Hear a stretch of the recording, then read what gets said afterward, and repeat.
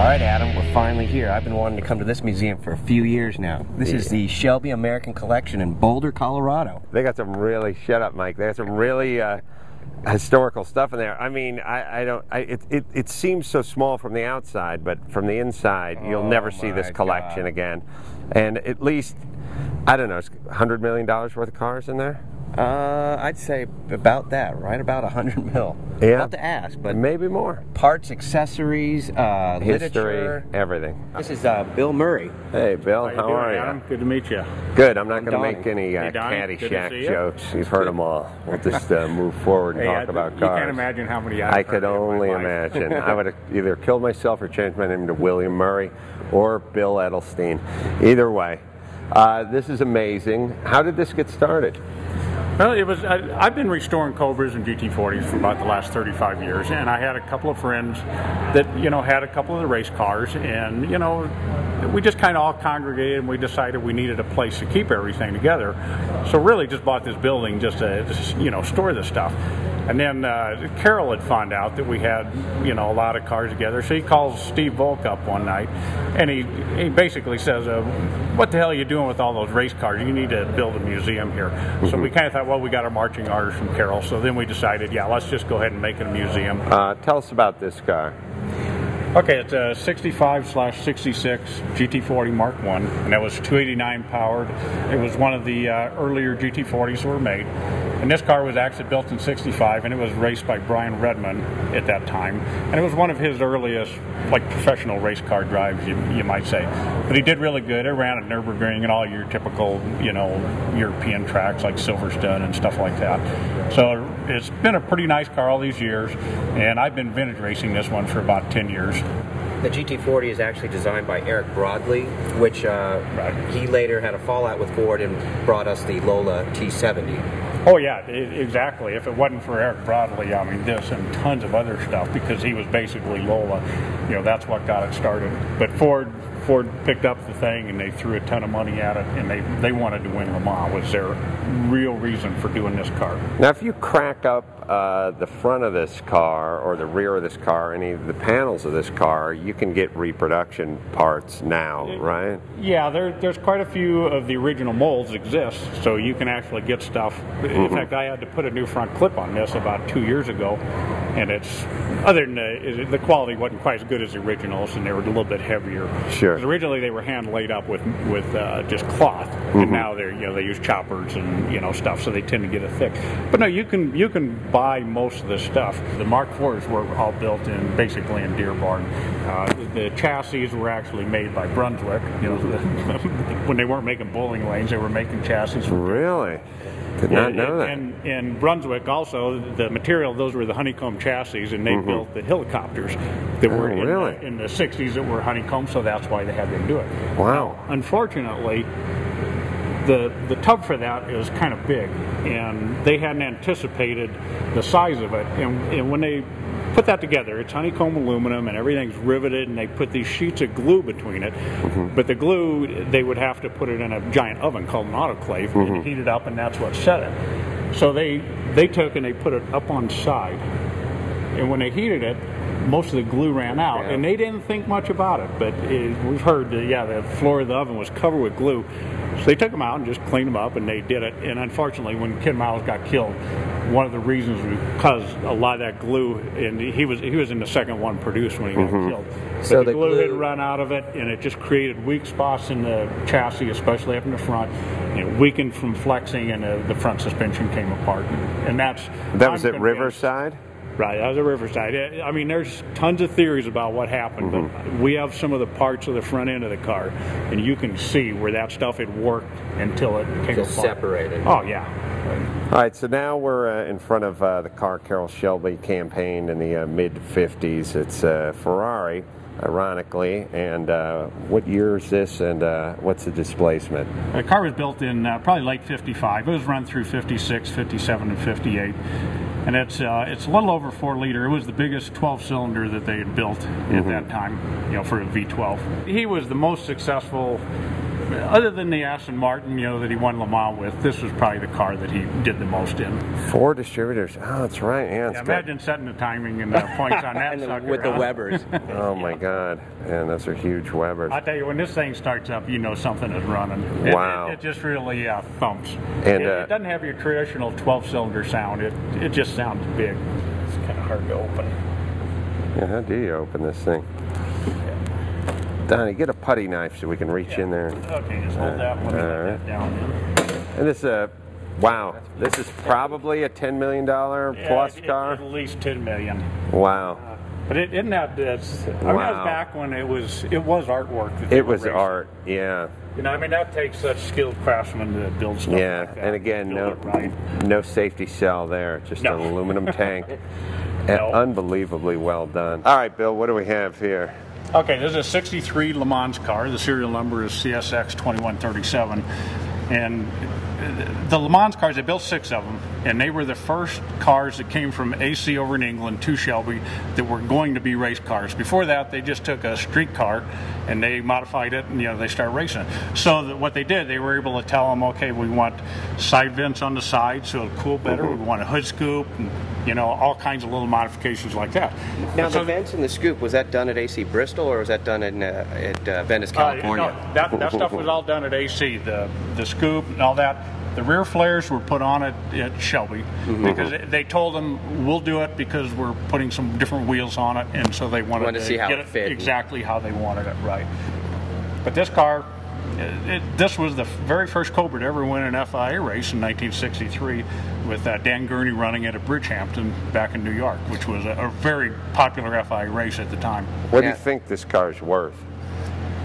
I, I would say it actually uh, it's 2136, another Le Mans car. It sold for about one and a quarter million at uh, Monaco at the RM auction uh, just a couple of months ago, and that car had been not destroyed, but it had been burnt. It had not one original piece of bodywork on it or anything.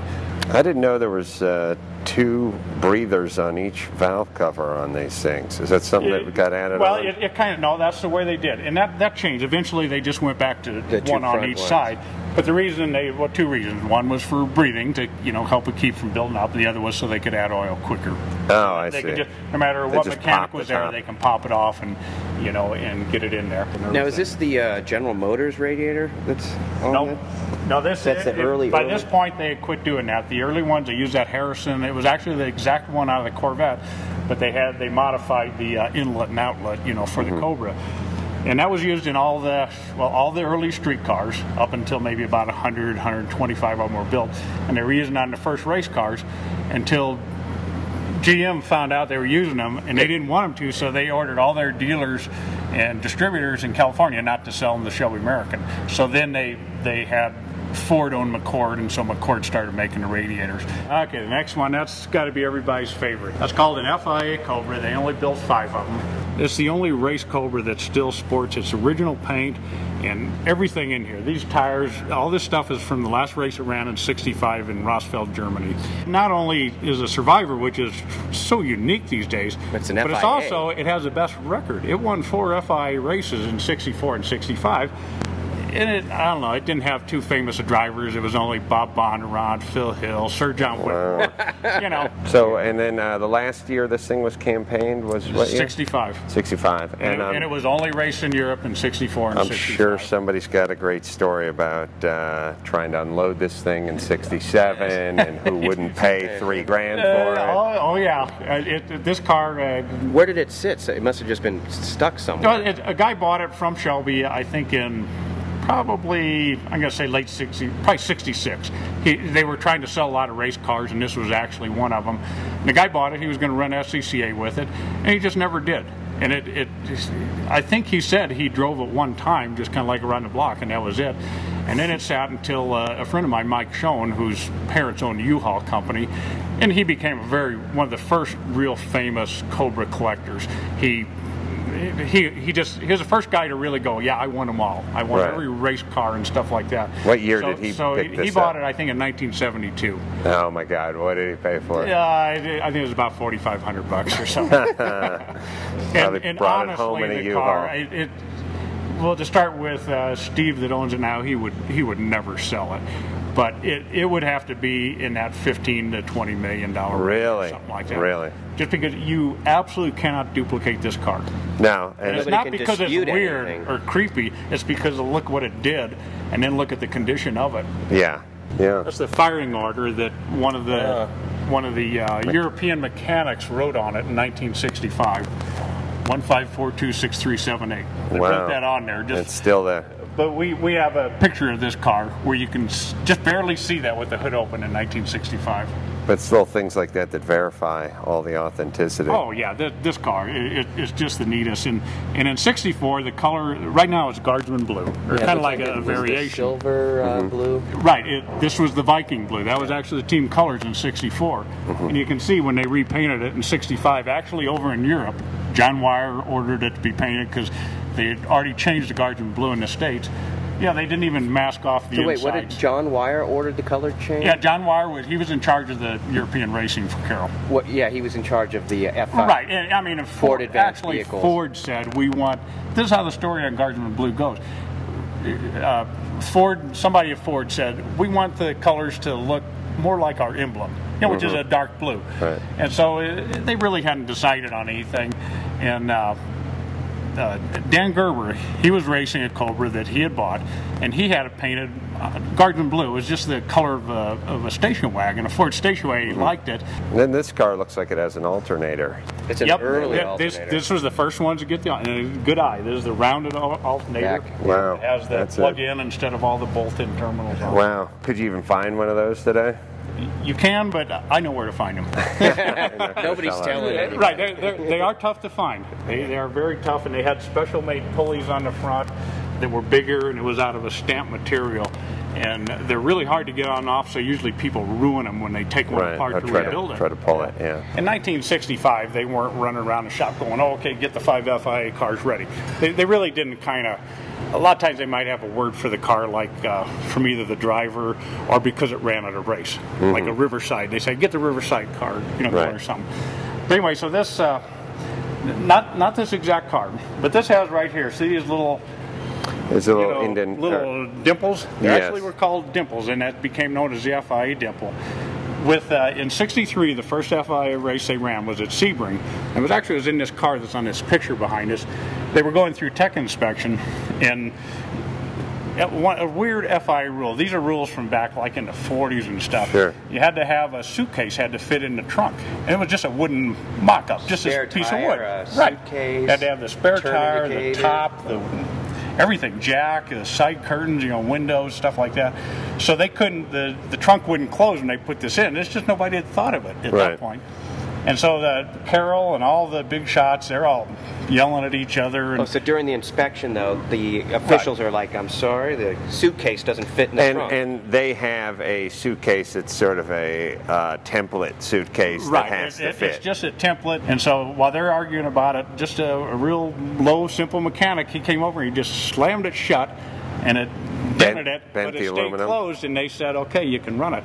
So then they, they did three more, the next three when they did the FIA cars, they did three of them like that. Then they wound up kind of modifying the inside of the trunk just ever so slightly with the gas tank where they could get it in there there were a little better. Once again, there were only five FIA. Right, only five of these official. FIA cars, and this is the only one that exists in total.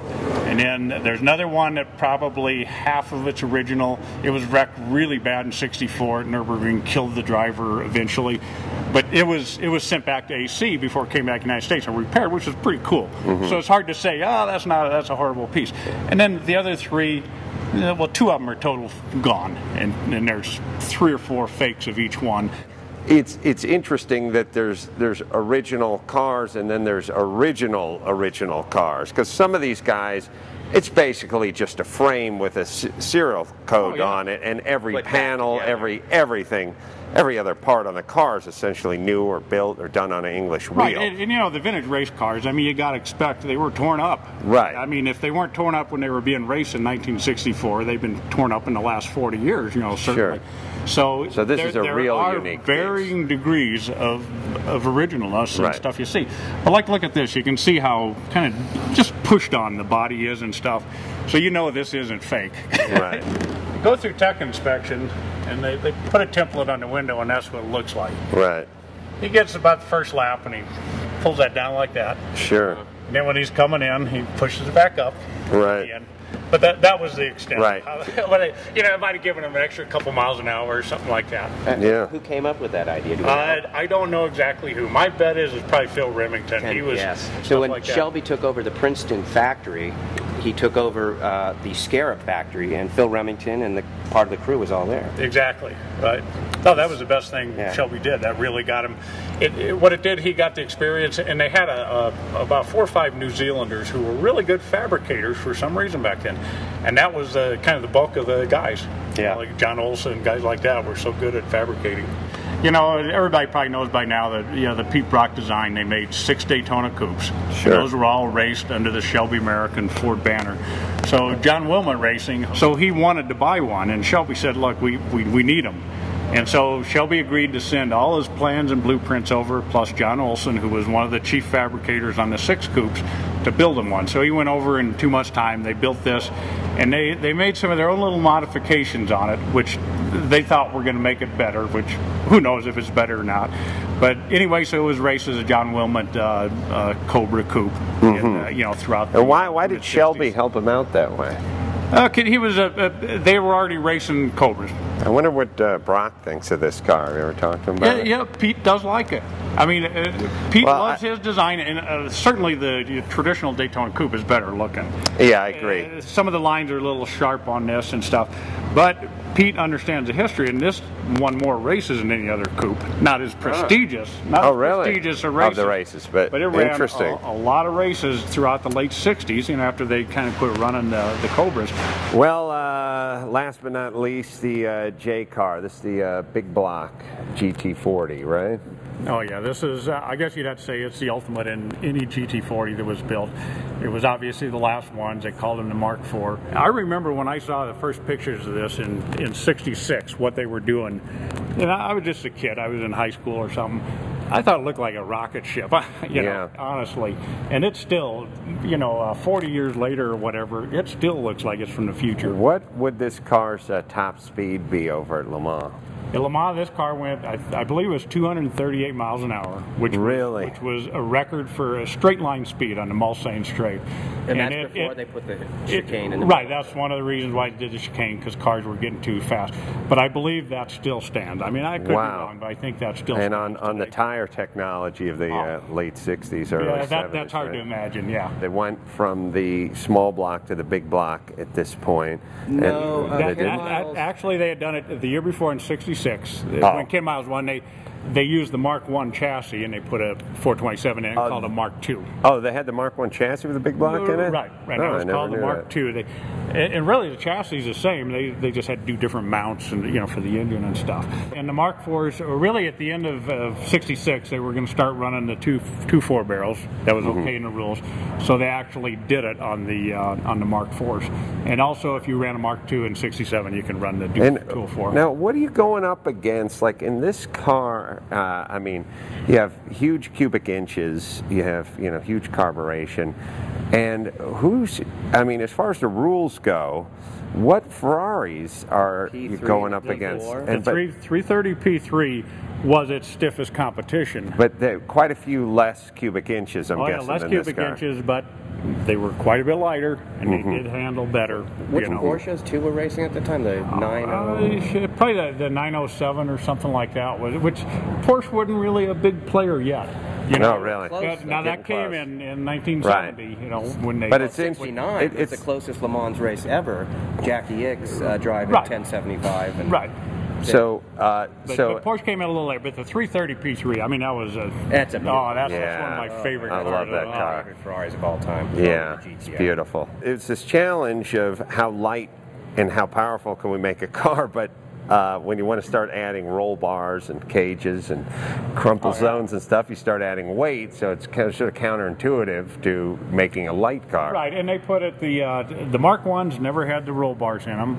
The Mark twos they did put kind of a semi roll bar in it, and then the Mark fours this actually has a full roll cage that goes all the way down here. Oh yeah. There was a turning point. That 66, 67 error that became one of the real focal points. Well, it was like a gentleman's sport at that point where everything was handcrafted and just Right. rich guys were racing. But then when Ford enters the picture, it turns into this corporate machine where science and technology and and Right, they, competition they certainly really. had whatever. They had no budget for this for the '67, and they they built. Uh, well, who didn't well, have a well, budget? see, it was nine of the of the J cars were built. Mm-hmm. The first two were prototypes. They had that different body. It was called the Bread Van Body, that real Yeah. tall rear end, and that's Oh, what right, Ken right, got killed yeah. in. Was one of those. So they so they actually only had uh, five of them that raced. They only raced in two races in '67. They raced at Daytona, and none of them finished because they had some faulty uh, main shafts in the gearbox. All of them broke. All, all their spares, everything. So they never finished the race, and they they ran. Uh, or, or they never got to start it because they were breaking so many. Uh, they won Sebring with, with one of them, with Mario Andretti won it, and then they ran uh, three of them or four of them at Le Mans '67, and that was it. That was the only two races, Sebring and Le Mans '67, that Mark IVs or GT4 the, ran. the J cars ever raced. Fuel tanks on each side Yeah. of the driver, and Oh, no they're real nice and cozy for you. no They- they bladder or anything in there. Oh no, right? these did have bladders. They had bladders. Oh, okay. Uh, you said you might fire this thing up for us. All right, Try that?